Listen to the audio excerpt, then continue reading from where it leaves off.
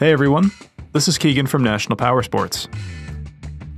Today we're taking a look at this 2019 Honda Rebel 500 with 406 miles.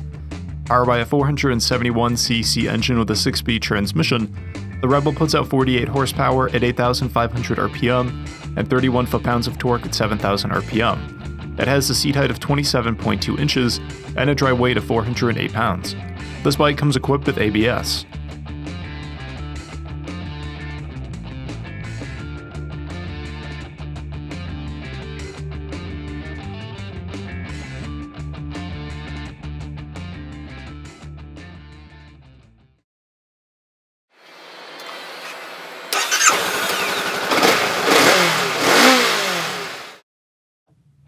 This opportunity vehicle is being sold as is without a warranty. We encourage you to see and hear the bike in person. If you are unable to, we will be happy to do a live inspection via Skype or FaceTime.